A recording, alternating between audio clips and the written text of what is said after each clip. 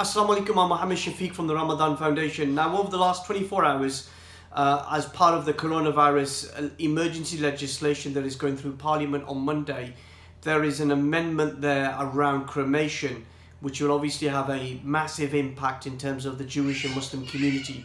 Now, I've been having a dialogue and conversation with a number of senior MPs, and I'm pleased to report that Naz Shah, the MP for Bradford West, is tabling an amendment which is cross-party supported by uh, Labour, Conservative and SNP and I'm hoping uh, all the MPs in Parliament on Monday to provide statutory protection uh, for Muslim and Jewish communities that if in the event of a massive outbreak of deaths in this country that those institutions around churches, mosques and synagogues will take responsibility, will be trained up and do whatever they can to help the process of burial.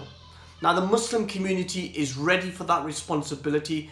We're uh, already beginning the process of organising ourselves and training ourselves are in conversations with local authorities. My appeal to you is to get your MPs to vote in support of this amendment, to get the Health Secretary and the Prime Minister, Matt Hancock and Boris Johnson to support this proposed amendment and provide that statutory legal protection for our community and our colleagues and brothers and sisters in the Jewish community. Now this lobby of MPs is absolutely essential.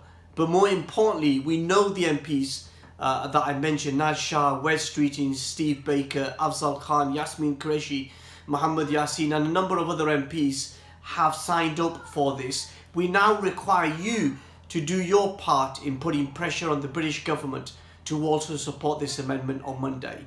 This is an extraordinary time for our country. It requires leadership, it requires compromise, and it requires sacrifice. We in the Muslim community in the United Kingdom are ready to take whatever responsibility and work that we need to do.